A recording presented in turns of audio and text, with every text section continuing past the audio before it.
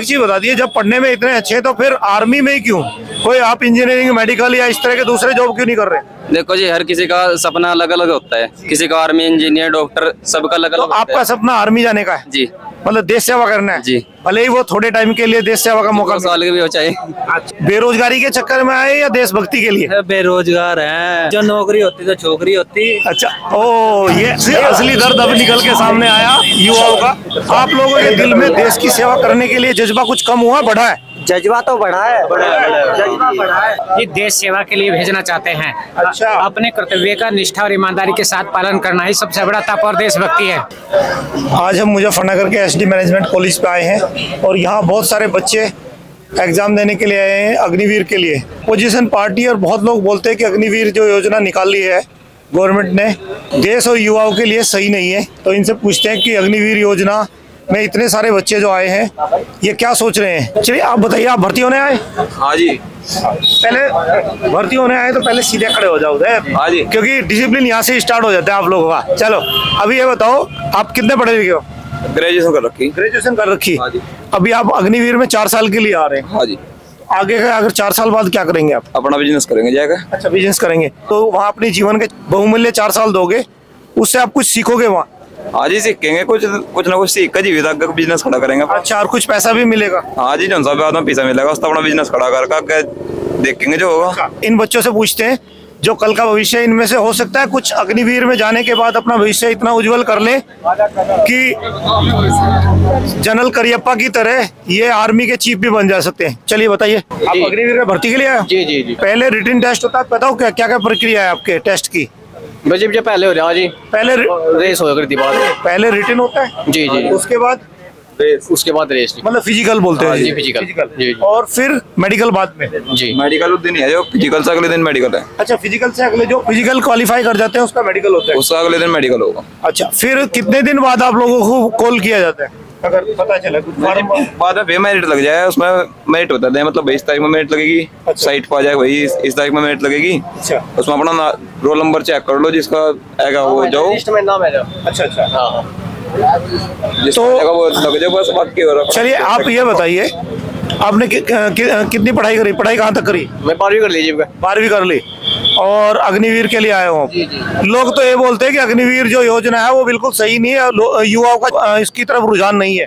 बस जी हम तो सही मानने हैं वैसे में देश की सेवा करनी नहीं देश की सेवा तो चार साल ही क्यों? पंद्रह साल क्यों नहीं बीस साल क्यों नहीं? जब चार साल बाद भाई कुछ तो सोचा होगा ना चार साल बाद जब वापिस आओगे अगर भर्ती होगे आप तो फिर क्या करोगे? खेती बाड़ी करेंगे। खेती बाड़ी ये क्यों नहीं सोचते कि आगे पढ़ाई करके या कुछ ना कुछ सीख के आगे बढ़ेंगे?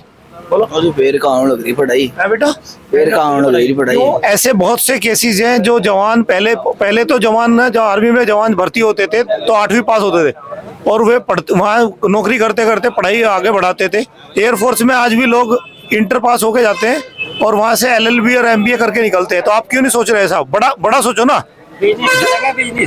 अच्छा बिज़नेस करेंगे। तो जो वहाँ से बीस लाख या तीस लाख रुपए मिलेंगे उससे आप बिज़नेस करेंगे। है ना? जी बिल्कुल। तो अच्छा एक चीज़ और बताइए लोग ये भी बोलते हैं कि अगर अग्निवीर इसके से, मतलब सेवारत जब आओगे रहोगे चार साल के दौरान अगर आप भगवान न करे शहीद हो गए देश के काम आगे तो आपको शहीद का दर्जा दिया जाएगा नहीं दिया जाएगा? आपको पता है कुछ? नहीं कंफर्म दिया जाएगा। दिया जाएगा ना? और उस टाइम में सारे बेनिफिट भी मिलेंगे आप लोगों को। बेनिफिट सारे मिलेंगे। सारे बेनिफिट मिलेंगे। तो एक चीज़ बताइए अभी आप युवा हैं हो सकता है जितने भर्ती होंगे वो अलग है बाकी देश के लिए दूसरे क्षेत्रों में जाएँगे कुछ एमबीए करेंगे कुछ मेडिकल करेंगे या कुछ और भी करेंगे जो बिज़नेस करेंगे या दूसरी सरकारी नौकरी करेंगे। अग्निवीर योजना शुरू होने के बाद आप लोगों के दिल में देश की सेवा करने के लिए जज्बा कुछ कम हुआ बढ़ा है? जज्बा तो बढ़ा है। जज्बा बढ़ा है। आप लोग युवा हैं पढ़ाई कर रहे हैं देश का भविष्य है आप लोग। आज की सरकार को कैसा मान रहे हो? सरकार तो देखो जी अच्छी है। अच्छा ये आपके आप गार्जियन है आप अपने बच्चों को अग्निवीर में भर्ती के लिए आए। तो देश में साहब दो बेरोजगारी इतनी है तो इसलिए तो अग्निवीर भी ठीक है अपने आप में। वैसे तो ऑलरेडी पहले से ही बेटे को डी फार्मा करवा रहे हैं एक साल गुजर गया दूसरा साल चल रहा है। अगर इसमें होगा तो ठीक है वरना इसके अलावा तो भाई आपके पास विकल्प है विकल्प है। देखिए अगर आप आर्मी में भर्ती होना चाहते हैं तो आपको ना ऐसे नहीं डरना नहीं चाहिए किसी भी चीज़ से। जब गोली से नहीं डरोगे तो इन ये क्या माइक से किस लिए डर रहे हो? क्यों? आप क्या कहते हो इस चीज़ में? माइक से डरना चाहिए? नहीं डरना चाहिए। तो ये चीज़ बताओ कि बेरोजगारी तो बहुत है ही है जी, जी। महँगाई का क्या हाल है महँगाई भी बहुत है। तो है बिल्कुल तो अच्छा तो एक चीज़ बताओ इस बार किस कौन सी गवर्नमेंट को चुन के ला रहे हैं? आपके गार्जियन आप क्योंकि सारे युवा हैं पहली बार वोट कर रहे हो आप। किसे प्रधानमंत्री मोदी बनेगा और मोदी बनेगा आप? जी मोदी मिलेगा अच्छा मोदी बनेगा जी। महँगाई है फिर भी मोदी। हाँ अग्निवीर है फिर भी मोदी। हाँ नहीं। नहीं अच्छा। कंफर्म नहीं हूँ मोदी दी- दे चुके होंगे वोट किसे दिया मैंने बसपा को वोट दिया। बसपा को बिल्कुल। जो हमारा देश का संविधान है या हमारे देश का लोकतंत्र है उसकी खासियत यही है उसकी खूबसूरती इसी में है कि हर आदमी अपनी मर्ज़ी से वोट दे सकता है अपने स्वतंत्र है वो बोल सकता है। और हमारे देश का ऐसा आदमी भी अपने प्रधानमंत्री के खिलाफ भी बोल सकता है जबकि दूसरे देशों में ऐसा नहीं है। आपसे पूछते हैं। क्या नाम है आपका बेटा? जिशान कहाँ के रहने वाले? शामली। शामली के। चलो अच्छी बात है। यहाँ ऑनलाइन एग्ज़ाम के लिए आए हैं? अपने किसी भाई को लेके आए? भाई को पेपर दिलाना है सर अच्छा भाई को पेपर दिलाने के लिए आए। तो ये बताओ अभी चार साल बाद भाई से क्या कराओगे? भाई जी उसका सपना है आर्मी में जाने का। अच्छा हाइट हाइट है और पढ़ने में ठीक ठाक सा है। तो देखे जाइए आगे क्या होगा। चलिए। कहाँ से आए आप?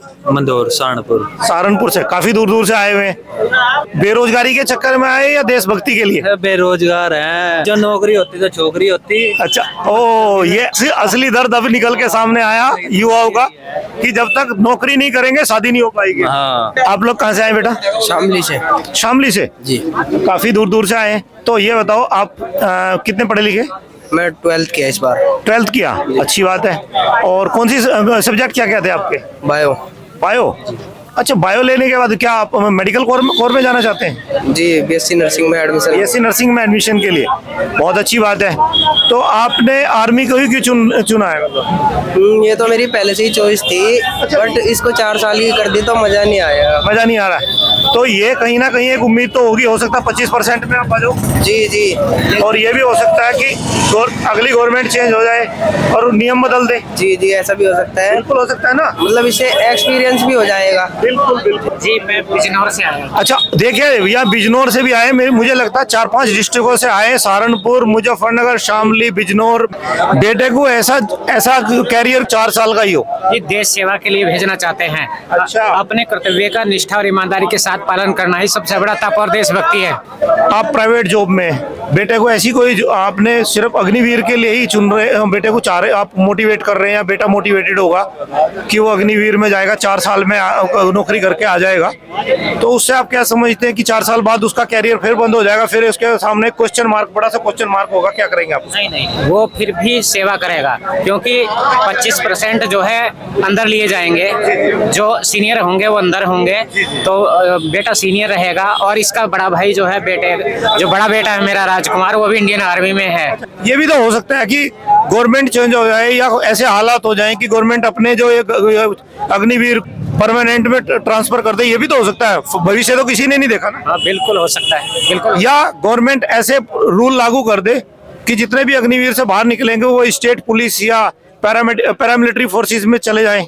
बिल्कुल चले जाएँगे बिल्कुल चले क्योंकि कई स्टेट ने तो घोषणा भी कर दी जो भी अगर अग्निवीर उनके स्टेट से आएँगे स्टेट पुलिस में प्रायोरिटी दी जाएगी। ये देश की सर्वोच्च सेना है इंडियन आर्मी इसलिए भेजना चाहते हैं। कैसा रहा एग्ज़ाम बढ़िया राज अच्छा तो अग्निवीर में चार साल के लिए कैरियर बनाने के लिए उत्सुक है आप? यस सर इसके पीछे क्या है देश सेव, देश सेवा है या बेरोजगारी? देश से हो आपका नाम? संजय राणा जी। संजय राणा कहाँ से हो? कोटा मुजफ्फरनगर के पास। चार साल के लिए अपना कैरियर बना रहे हो अग्निवीर में पता चार साल बाद ये कैरियर फिर खत्म हो जाएगा। आप देश सेवा के लिए या बेरोजगारी के लिए अग्निवीर चुन रहे हो?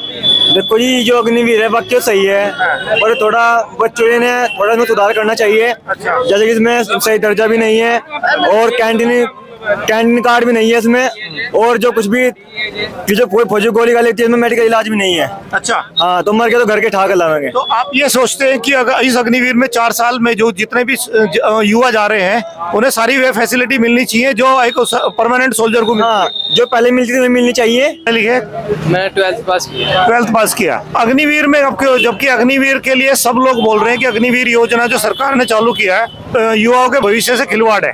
वो तो आप क्या सोचते हैं? आप बेरोजगारी की वजह से अग्निवीर में जाना चाह रहे हैं या देशभक्ति की वजह से? देशभक्त तो है जी हम पहले से ही। हाँ नहीं वो तो सही बात है। हर देखिए हर युवा देशभक्त है। इसमें तो कोई डर है नहीं। आपका मेन मकसद क्या है अग्निवीर ज्वाइन करने का? मेन मकसद तो ये है जी पंद्रह साल के लिए सही चार साल के लिए। अच्छा। चलिए मतलब इससे आप काफ़ी कुछ सीख के बाहर निकलोगे। जब आज आज के और उस चार साल बाद के उसमें ना युवा में अंतर होगा। अंतर तो हाँ जी होगा बहुत ज़्यादा होगा। मतलब काफ़ी कुछ सीख के निकलोगे और आप, जीवन में मतलब भविष्य में आगे बढ़ने के लिए आपके पास बहुत मोटिवेशन होगा। चलिए बहुत बहुत धन्यवाद। कौन है आपके? भाई है जी मेरा। भाई है। कितने पढ़े लिखे हैं? भाई मेरा ट्वेल्थ करी जी अब चार साल के लिए जा रहे हैं वो अगर क्वालिफाई कर जाते सोच रहे चार साल बाद उनके जीवन में फिर एक खाली स्थान आ जाएगा? नहीं खालिस्तान तो नहीं जब अग्निवीर में जाएँगे कुछ ना कुछ एक्सपीरियंस ही मिलेगा। और बहुत सी चीज़ें ऐसी हो जा कि एक्सप्लोर हो जा माइंड बहुत सी बाहर जाके चीज़ों का पता लग जा। और सर्विस देने के बाद एक चाम आ जा अपने अंदर कुछ भी कर गुजरे आदमी उसके बाद आने के लिए। तो बहुत सी चीज़ों में कोटे भी है। कई सारी चीज़ों में एक्स सर्विसमैन के अग्निवीरों के कोटे भी है। पुलिस है बहुत बहुत सारी आर्म फोर्सेज में है। और ऐसा नहीं कुछ नहीं कि अच्छा रिलायंस और टाटा वगैरह जैसी बड़ी कंपनियाँ उन्होंने भी अग्निवीर के लिए वो रखा है कि हम उन्हें प्रायोरिटी देंगे। अब कुछ ना कुछ प्लस में ही रहेंगे। माइनस में देखो कुछ आने के नहीं चाहिए तो जो अपोजिशन ये फैला रहा है कि इन्होंने देश के युवाओं के साथ खिलवाड़ कर दिया उनका भविष्य बर्बाद कर रहे हैं उसके बारे में आप क्या कहेंगे? ये ये तो जी पॉलिटिकल फंड है। इतना ही कह सकूँ जी।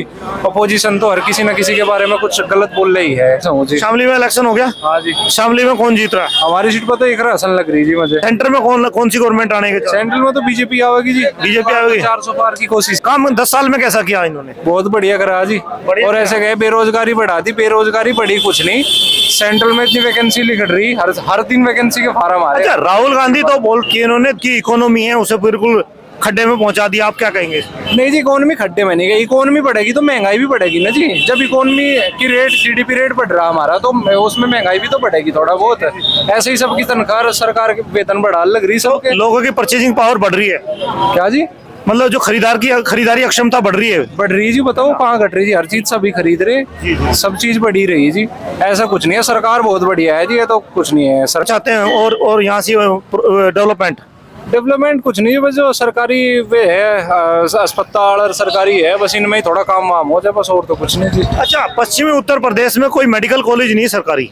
और मेरठ को छोड़ के। मेडिकल कॉलेज नहीं है। तो इस पे आप क्या कहेंगे या इंजीनियरिंग कॉलेज पहले एक आईआईटी रुड़की था अभी कोई इंजीनियरिंग कॉलेज भी नहीं है इस तरह का आप इस पे क्या कहेंगे एजुकेशनल इंस्टीट्यूट बनने चाहिए पश्चिमी उत्तर प्रदेश में? हाँ जी बनने चाहिए क्योंकि दिल्ली एनसीआर से दिल्ली में ही जाना पड़ेगा जी हमें तो देख लो। तो दिल्ली यहाँ ज़रूर होना चाहे दिल्ली इधर आके क्योंकि हमारे आसपास तो कोई है ही नहीं। बस वही है गन्ने के मील है यही है जी बस अच्छा आपने गन्ने पे ज़िक्र किया आप किसान है? हाँ जी किसान। किसान है तो किसानों का क्या स्थिति अभी? किसानों की ठीक चल रही है जी। बस वही है आने वाले समय में जो किसानों को है वो सरकार के अकॉर्डिंग चलना पड़ेगा। अच्छा कि, किसान अपने बच्चे को खेती क्यों नहीं करने देता?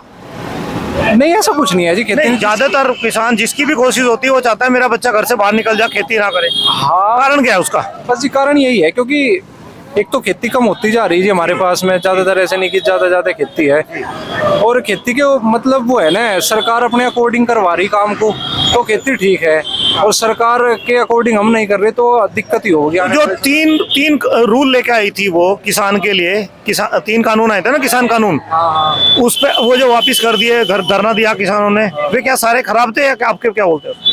इस बारे में मुझे पता नहीं उस तो समय हो चलिए बहुत बहुत धन्यवाद।